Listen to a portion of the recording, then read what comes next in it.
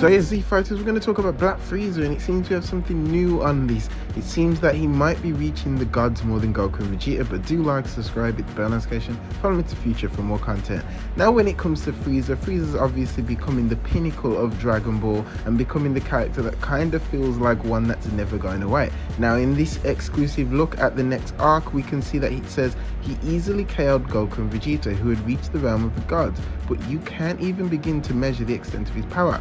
Side blurbies close to even God of Destruction, talking about Black Frieza being closer to a god power than Goku and Vegeta. Now, this is very interesting. Then it comes along with that, which is showing Vegeta looking up and thinking about um, obviously Frieza and what power he actually has. Because when he showed up, it didn't feel like he even wanted to care about destroying Goku and Vegeta.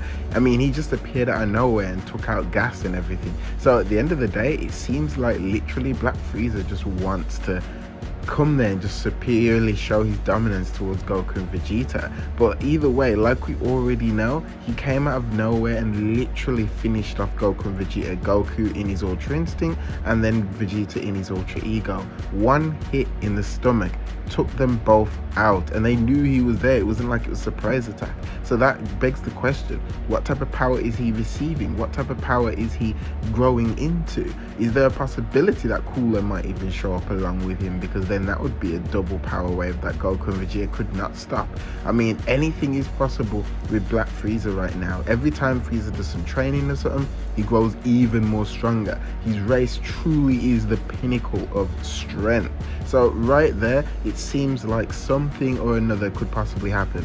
He could possibly become more powerful than Beerus and literally be the one who has to aside to sit as the god of destruction. Though that won't happen because he'd be wiping out universes and doing things that he shouldn't be doing. He'd never listen to Whis or the other ones, though he would have to because he knows how powerful they are, but he still wouldn't be doing things in check with what he should do. But obviously, with them even questioning that he's more powerful than Goku and Vegeta right now, does that mean Goku and Vegeta have to push themselves to new limits, new strength? I mean, look at Broly. Broly wasn't exactly a god form, but he was still matching up arms with both of them and actually almost beating them. So maybe Frieza's true test of strength is going up against someone like Broly.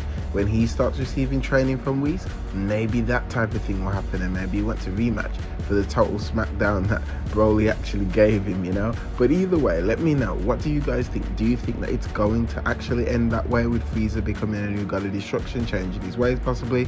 Or do you think it's going to have an all-out Saiyan war where it's going to be all of the last Saiyans against Frieza himself? But do like, subscribe. This is your boy Future Boy Eddie Max Future. Stay frosty peeps. Peace.